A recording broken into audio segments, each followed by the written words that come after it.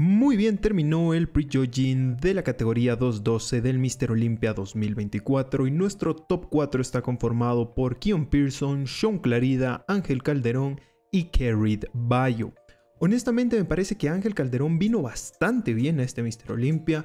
Igual Keon Pearson me parece que está, digamos que, un nivelito por encima de, del resto, pero la distancia para mí entre Sean Clarida y Ángel Calderón honestamente no es tan grande.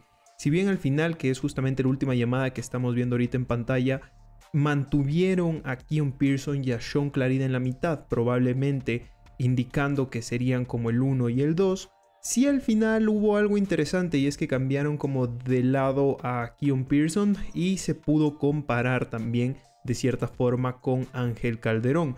Eh, me parece que la falla que podríamos de encontrar en Ángel en este caso sería la separación de sus femorales, por ejemplo. Se ve en mejor condición el caso de Sean Clarida, pero eh, honestamente me parece que vino bastante mejor que el Olimpia pasado y el Olimpia pasado pues eh, fue, fue bueno para, para Ángel.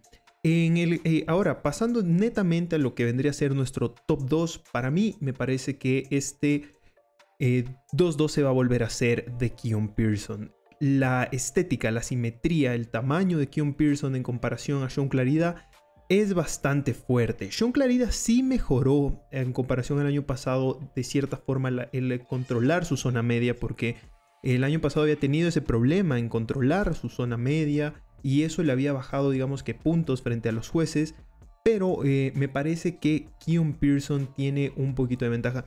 La condición honestamente me sorprendió, me parece que en las actualizaciones eh, Kion se veía mejor de lo que terminamos viendo en Tarima, igual y pues tiene todavía unas horitas hasta las finales para poder mejorar digamos que esa condición, pero eh, no veo esas estriaciones que mostraban los cuádriceps en, en sus actualizaciones, algo que sí puedo notar por ejemplo en Sean Clarida y también incluso en Ángel Calderón, no se ve tanto en eh, Keon Pearson, así que me sorprendió, me sorprendió de cierta forma eso, pero siento que si bien la condición de Keon es un poquito peor, eh, sí su estética, su simetría, su tamaño como que lo empuja para terminar un eh, nivel más arriba, por decirlo así. Así que pues básicamente ese sería como que el pre-judging de la categoría 212. Nos veremos más adelante en la noche con las finales de 2-2 y también con el pre-judging de la categoría abierta. Así que seguimos aquí con la cobertura del Mr. Olympia 2024.